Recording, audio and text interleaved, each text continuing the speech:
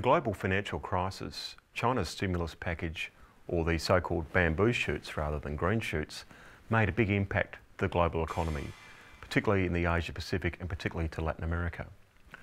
Two nations that really benefited from China's growth have been Australia and Brazil, two great southern lands. Both the great southern lands have been very much beneficial, benefited from China's growth, but these two nations don't know much about each other historically. One nation started as a jail, a public-private sector partnership with three different classes, the convicts, or the jailed, the jailers, and the indigenous societies. Despite its humble beginnings, this society actually prospered economically through wheat, through a wool boom, and through a gold rush or two. But for many years it had an unusual, perhaps uh, frustrated, protected view of its neighbourhood. It was protected from Asia and saw Asia as something it wanted to defend itself against rather than somewhere to engage with.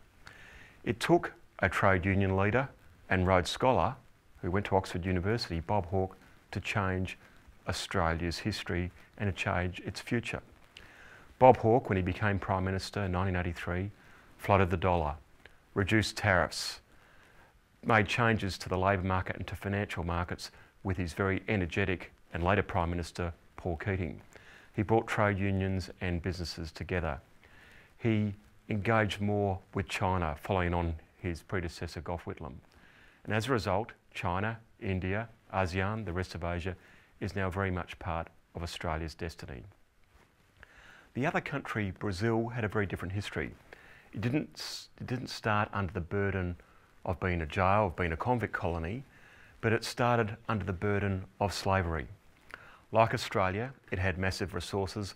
Like Australia, it relied on immigration and human capital for its prosperity. Like Australia, it had its own issues with its own indigenous population. With Brazil, the economic problems were actually quite different than Australia's. Brazil had much bigger problems than Australia in terms of having hyperinflation, in terms of having political instability, terrible fiscal issues, and threats to democracies with dictatorship. But Brazil, like Australia, has also put its past behind it.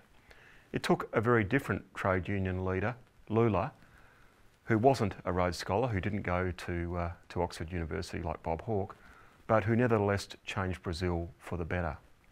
Under Lula's leadership, Brazil not only prospered in terms of economic growth, in terms of fiscal policy, and monetary policy, and also in terms of its labour market. Brazil, which once had hyperinflation, which once had terrible social dislocation, actually saw during the global financial crisis a 7.5% economic growth rate and 4.5% the following year. Its closer trade ties with the rest of the world, particularly China, has meant that Brazil has prospered economically, but Lula also focused on investing in human capital and has added 49 million people to Brazil's middle class. In fact, the exchange rate is now so strong in Brazil, the real, that one of my hostesses in Rio told me that her maid took her holidays in Buenos Aires next door. I wrote about this in my project, Don't Buy From Me, Argentina. Now, Brazil and Australia, we don't know much about each other. Australians think of Brazil as sand, soccer and samba. The most famous Brazilian, Pele, the great footballer, came to Adelaide and got the biggest crowd since the Beatles. But apart from uh, Pele, Australia generally doesn't know much about Brazil. This is now changing due to education, climate change and sport, uh, and indeed the arts.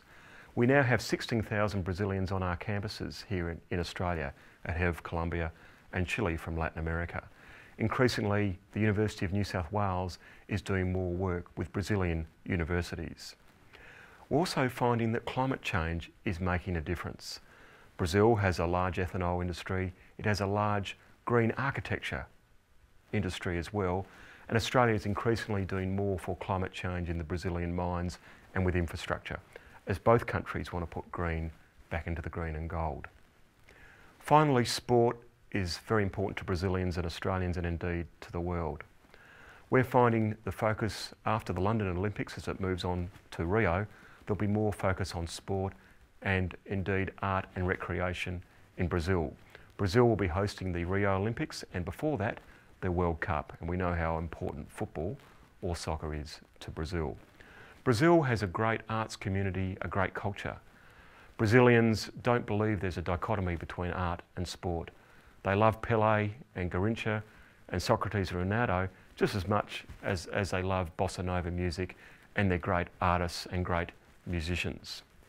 Brazil's unique multicultural community has been something to aspire to. The great Australian historian John Hirst said that by 2030, through immigration, through intermarriage, Australia would be a beautiful people. Well, Brazil is already a beautiful people. It has many different races working together to provide a unique culture and a, a unique global brand for the world. Brazil is not only a country of beautiful people, but increasingly it's become more economically and dipl diplomatically strong in Asia, particularly with China. Brazil and Australia will play a very important role in China in the future and in Asia and ultimately on the world stage. So enjoy the rise of Brazil and make sure that you get to Rio for the Olympics. And increasingly, whether you live in Beijing or in Brisbane, you'll find that Brazil will touch you even more.